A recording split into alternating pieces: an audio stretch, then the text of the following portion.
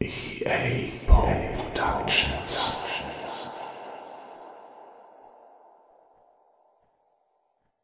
EA Poe Productions liest deutsche Balladen.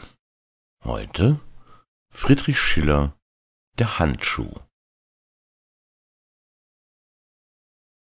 Vor seinem Löwengarten das Kampfspiel zu erwarten, saß König Franz, und um ihn die Großen der Krone, und rings auf hohem Balkone die Damen in schönem Kranz. Und wie er winkt mit dem Finger, auf tut sich der weite Zwinger.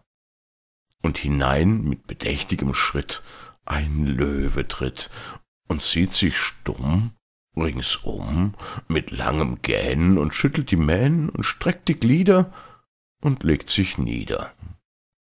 Und der König winkt wieder, da öffnet sich behend ein zweites Tor, und daraus rennt mit wildem Sprunge ein Tiger hervor. Wie der den Löwen erschaut, brüllt er laut, schlägt mit dem Schweif einen furchtbaren Reif und recket die Zunge und im Kreise scheu umgeht er den Leu, grimmig schnurrend, darauf streckt er sich murrend zur Seite nieder. Und der König winkt wieder. Da speit das doppelt geöffnete Haus zwei Leoparden auf einmal heraus. Die stürzen mit mutiger Kampfbegier auf das Tigertier. Da packt sie mit seinem grimmigen Tatzen, und der Leu mit Gebrüll richtet sich auf, da wird still, und herum im Kreis von Mordsucht heiß lagern die greulichen Katzen.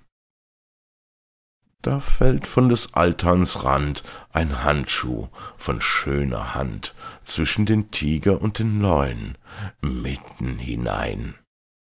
Und zu Ritter Delorges spottender Weiß wendet sich Fräulein Kunigund.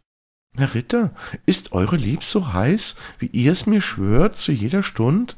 Ei, so hebt mir den Handschuh auf und der Ritter in schnellem Lauf steigt hinab in den furchtbaren Zwinger mit festem Schritte, und aus der ungeheuer Mitte nimmt er den Handschuh mit keckem Finger.